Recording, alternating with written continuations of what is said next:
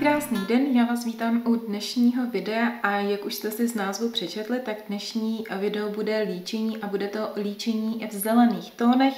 Konkrétně využiju tady tohletu paletku od značky Natasha Denona, je to její Metropolis palet. Bohužel tahle paletka už se podle mě neprodává, ona to byla v uvozovkách limitovaná edice, byla dostupná asi tři nebo čtyři roky. Já jsem tady tuto adoptovala od Dáši z instagramového účtu um, World of Beauty by D, teď jsem to úplně zapomněla. Nicméně říkala jsem si, že bych ji dneska tady s váma vyzkoušela a zároveň udělala takové podzimně laděné líčení, které bude do zelenkavých odstínů. Bude asi trošku tmavší vzhledem k tomu, že většina těch zelených barev, které tady jsou, tak jsou v takových jako tmavších odstínech.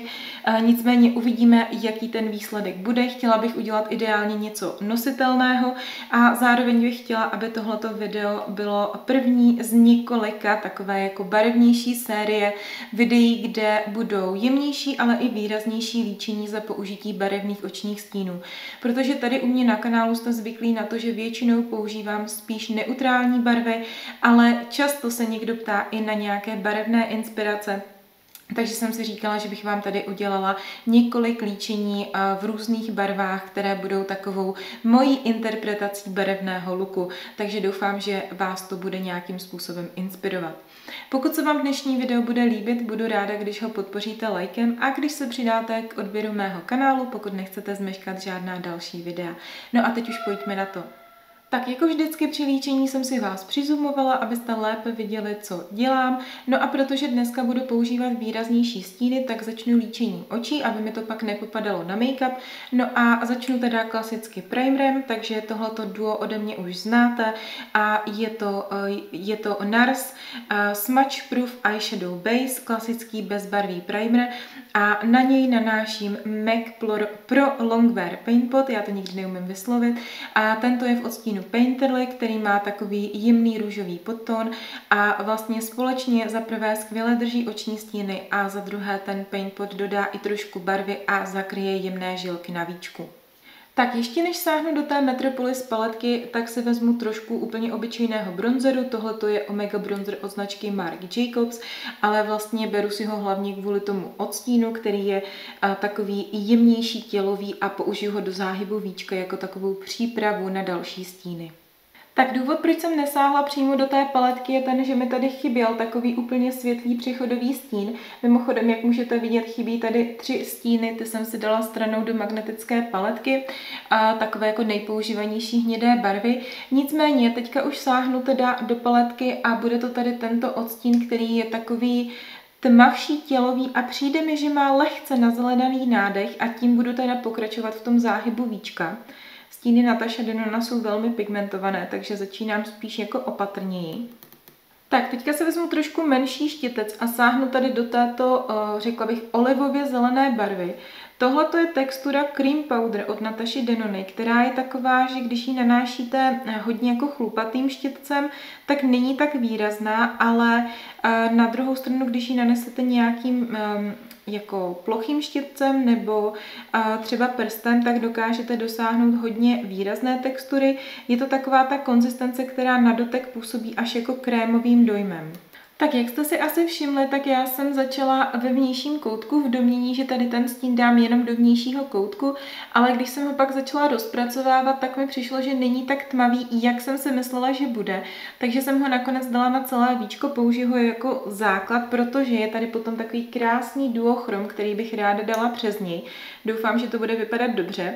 No a na to stmavení vnějšího víčka si teda vezmu tady tenhle ten uh, tmavý odstín. Jinak ta, ty odstíny mají i svoje jména a já vám je vypíšu do popisku pod tady to video, protože, jak jsem říkala na začátku, tahle paletka už podle mě nepůjde koupit, ale Natasha Denona má ty stíny i jako v monech dostupné. Takže kdyby vás náhodou nějaký stín hodně, hodně zaujal, a, tak abyste věděli, který to byl a případně pokud třeba tu paletku máte taky doma, a chtěli byste ten look nějakým způsobem zreprodukovat, tak abyste věděli, co jsem přesně používala. Tak tady tenhle ten stín je teda opravdu mega pigmentovaný, jakože fakt hodně. A musím říct, že se trošičku hůř rozpracovává. Možná jsem na ní nezvolila ideální štětec. Nicméně já se tím nebudu úplně trápit, protože do toho vnitřního koutku nebo do té vnitřní části oka stejně plánuju dát třpitky, takže nějaké ty fleky se tam hravě ztratí. Nicméně teda musím říct, že je opravdu extrémně pigmentovaný a nejsem si úplně jistá, jestli kdybych ho třeba chtěla použít samostatně pro nějaký jako výrazně zelený look, jestli uh, by se dal nanést bez toho, aniž by udělal nějaké flaky, protože uh, teďka se mi s ním pracovalo trošku složitěji. Což bohužel je nevýhoda hodně pigmentovaných očních stínů. I na jednu stranu dokážete udělat extrémně výrazná líčení, na druhou stranu velmi snadno si uděláte nějaký ten flíček. Tak, já jsem si vzala ten štětec, který jsem teda používala na začátku, vůbec už jsem na něj nepřidávala žádnou barvu ani nic takového a jenom tady nenápadně rozpracovávám do ztracena a jak můžete vidět, tak na ten štětec se nabralo hodně toho zeleného stínu z toho rozpracovávání, což znamená, že tam je opravdu jako velká, velká vrstva pigmentu, protože zase na druhou stranu ta intenzita se vůbec nestrácí. Tak já se teďka vezmu štěteček na oční linky a sáhnu tady do tohohle hodně tmavého očního stínu. On je teda takový hodně tmavě modrý, ale poslouží úplně stejně, jako by posloužila černá linka. Černý stín tady v té paletce není a udělám linku podél, podél horních řas. Tak a poslední věc, kterou udělám, je, že prstem sáhnu tady do tohoto duochromového stínu, který je takový zlato-zelený a dám ho do té eh, vnitřní části oka. Tak a teď už si jenom vezmu štětec, kterým jsem nanášela ten tmavší zelený stín a lehou lince, lehou lince to propojím a vlastně v tom vnějším koutku, aby tam jako nebyl ostrý přechod mezi tím, kde jsou třpitky a nejsou třpitky. Samozřejmě přidání toho duochromového stínu nejenom, že zakryje ty fleky mezi tím, těmi matnými stíny, které byste jinak museli samozřejmě pečlivě rozpracovat, protože když ty stíny nejsou dobře rozpracované do sebe, tak to nevypadá vůbec hezky, ale zároveň to samozřejmě krásně zvýrazní to oko. Takže tohle, co se týče očních stínů, bude všechno. Mně tady teda trošku popadaly oční stíny, protože eh, jsem úplně nebyla opatrná. Myslím si, že většina těch textur v téhleté palece jako moc opadávat nebude eh, protože jsou opravdu hodně, hodně krémové, ale když si na ně vezmete takové ty chlupatější štětce, tak samozřejmě ve tomu opadání jako nezabráníte úplně. Takže já si teďka tady otřu, co mi opadalo a půjdeme dodělat ten make-up. Spodní linku dodělám až úplně na závěr.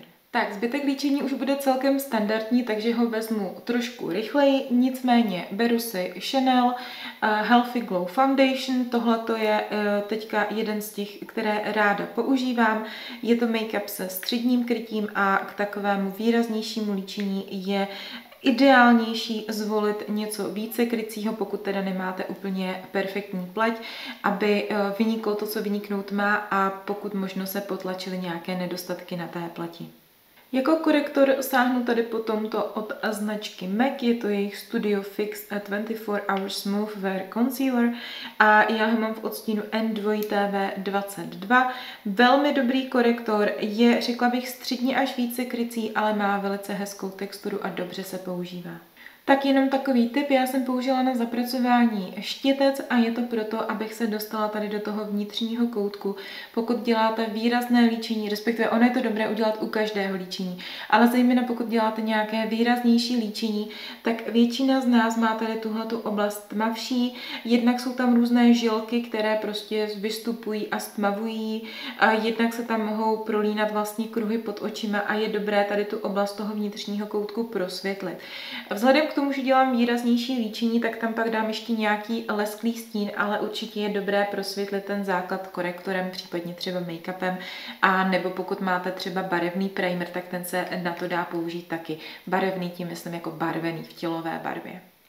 Tak a ještě než zapudruju obličej a dodělám ten finální make-up, tak použiju krémový bronzer. Tohle je od značky Chanel, ten jejich uh, Soleil Tan de Chanel, ale jakýkoliv krémový bronzer samozřejmě by fungoval úplně stejně. Já mám ještě ráda ten od Narsu a hodně jsem si zvykla takhle vrstvit uh, krémový a pudrový bronzer, protože mám pocit, že to za prvé vypadá přirození, protože každého použijete jenom maličko a za druhé to lépe drží.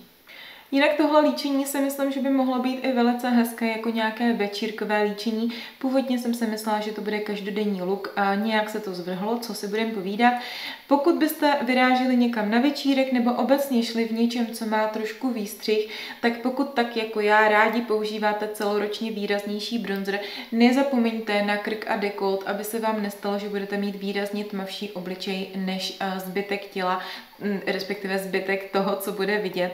Takže platí to samozřejmě zejména, pokud budete mít nějaké šaty s hlubším dekoltem, třeba na večírku nebo nějakou blůzu, ale i pokud třeba jenom byste měli tričko, jako mám dneska já, které prostě odhaluje jenom trošku, ale i tak ten krk je prostě vidět, tak je dobré dát eh, trošku toho bronzeru i na krk, jenom tak jako lehce, aby to bylo přirozené, ale zároveň, aby se lehce sjednotila ta barva s horní částí obličeje. Tak a teď už teda zapudrujeme obličej. Eh, tento make-up ani korektor nepotřebují na mojí plati příliš mnoho pudru, takže já si beru tady tento od značky NARS. Eh, je to jejich um, Light Reflecting Setting Powder, který je ve variantě Translucent Crystal. Oni mají ještě nějaké tmavší varianty pro tmavší barvy plati.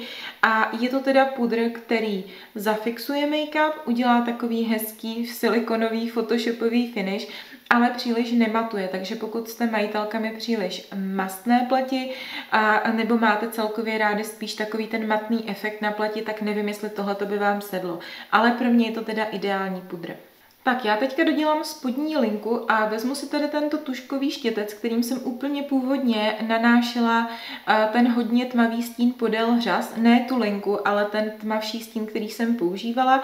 A bez toho, aniž bych přidávala nějaký produkt, tak začnu lehce rozpracovávat tu spodní linku.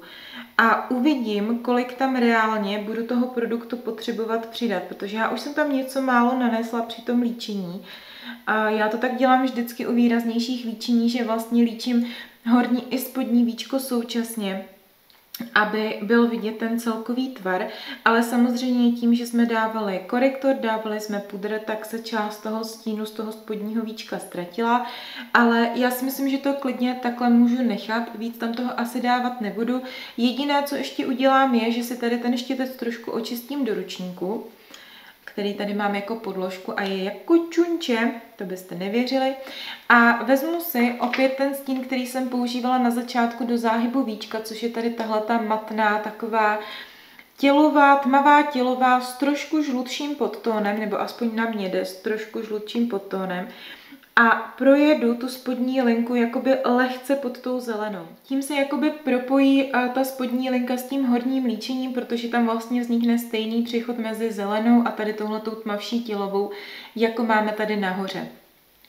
Ještě si vezmu štětec, kterým jsem rozpracovávala to horní víčko a pro jistotu párkrát takhle přejedu ten přechod.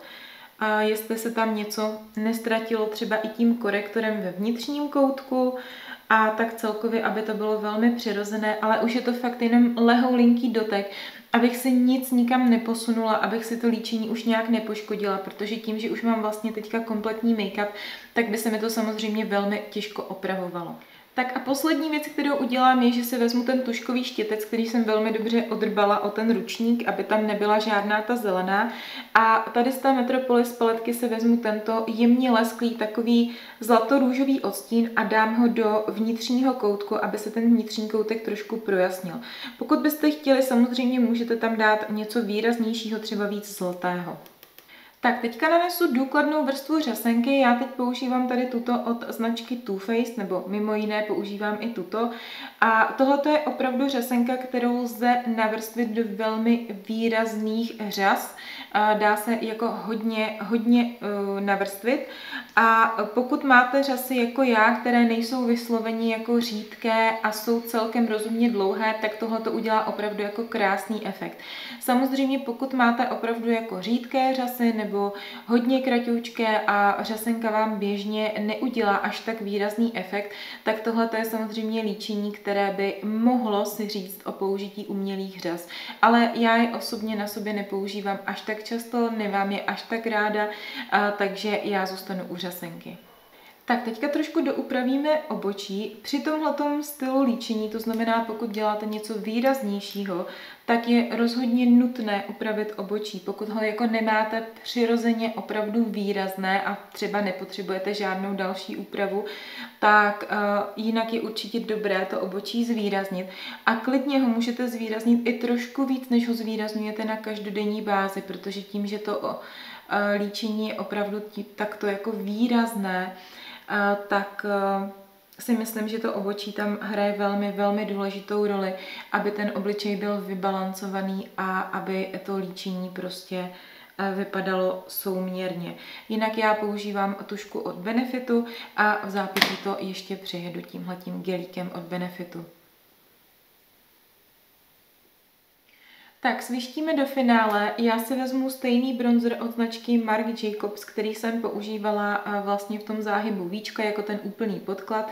Tohle je můj velmi oblíbený bronzer, bohužel už se nedá koupit, ale velmi podobný odstín je třeba klasická hula od Benefitu a nebo věřím, že najdete i spoustu dalších odstínů, které jako by byly podobné tady tomuto, ale musím říct, že tohle byl velmi provedený, provedený, povedený produkt od značky Marc Jacobs. Tak pokud jde o zbytek obličeje, tak za mě, eh, pokud máte výrazné líčení uh, očí, tak je dobré i zbytek toho obličeje nalíčit trošičku výrazněji. Neříkám, prosím vás, zmalovat se jako plakat, to určitě ne. Držet se nějakých jemnějších, neutrálnějších tónů, ale nalíčit ten obličej kompletně, protože jinak to vypadá, že to líčení očí patří někomu úplně jinému než eh, líčení zbytku obličeje. Nebo tedy aspoň dle mého názoru, pokud člověk zvolí takto výraznější nalíčení očí, tak eh, ta pleť, pokud třeba byste nedali make-up nebo nepoužili nic na tváře, na rty, tak mi přijde, že to líčení působí takovým jako nedodělaným dojmem. Zároveň si ale myslím, že je dobré se držet trošku jako při zemi, zvolit spíš neutrálnější odstíny, takže já i rozjasňovač zvolím jemnější, vezmu si tady tento od značky Hourglass, a ten teda nanesu na tváře, ale i nad obočí a tak nějak eh, znáte mě všude. Tento rozjasňovač je eh, poměrně jemňoučký, já ho používám i na každodenní použití, ale dneska jsem ho nanesla v trošičku větší vrstvě, protože přece jenom bude to slavnostní líčení, i když mělo být každodenní, takže dávám trošičku víc rozjasňovače a jako tvářenku zvolím svoji aktuálně velmi oblíbenou Baby Blush od MACu. Baby Blush je teda odstín té tvářenky. Je to matná tvářenka, myslím si, že i tvářenka s jemným leskem by tady k tomuhle tomu líčení šla velmi dobře, ale zase jako úplně bych to nepřeháněla a určitě bych nevolila nějaké výrazné, třeba růžové nebo oranžové odstíny. Myslím si, že něco tady z té neutrální skupiny barev bude úplně ideální. Tak a na zvolím taky něco přirozenějšího a víc takového jako nude. Dalo by se asi zvolit i nějaká tmavší rtěnka, třeba něco tmavšího hnědého, pokud nosíte, ale to není úplně můj styl, takže já půjdu vysloveně do nude kombinace a použiju kombo, které ode mě taky znáte. Tuška narty v odstínu Pillow Talk od značky Charlotte Tilbury. Myslím si, že eh, v posledních videích nebo videích tak za poslední měsíc jste málo kdy viděli nějakou jinou tušku narty. No a rtěnka, kterou používám, tak je odstín Inside od značky Bare Minerals. Je to jejich řada Hydra Lipstick. Eh, velmi komfortní rtěnka. Tohle je takové neutrální kombo narty, já ho nosím velmi ráda i ke klasickému přirozenému líčení, myslím si, že už jste ho v nějakém videu určitě viděli.